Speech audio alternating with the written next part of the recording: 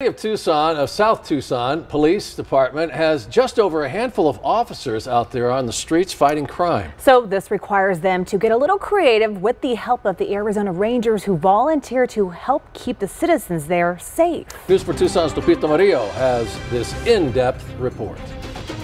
Even before Arizona became a state, the Arizona Rangers were helping to keep the peace. And right now, here in the square mile city of South Tucson, there are only 13 South Tucson police officers.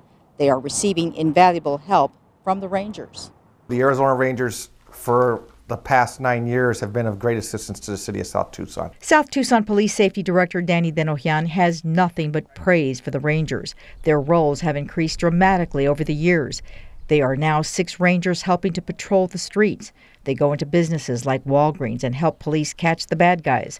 Walter Ayers retired from Raytheon. He's been with the Arizona Rangers over a decade. Just two minutes ago, before this uh, interview here, we stopped a shoplifter from exiting here at Walgreens.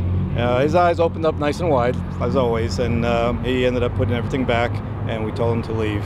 The Rangers follow the guidelines set by the Arizona Peace Officers Standards and Training Board compliance. They train monthly among themselves. When we do training for our officers, they come out and do the same type of training that we do, like uh, firearms qualifications, uh, taser training. They have to be Arizona Post certified on those type of things to do that. The Rangers also spend their own money to buy their own equipment from head to toe.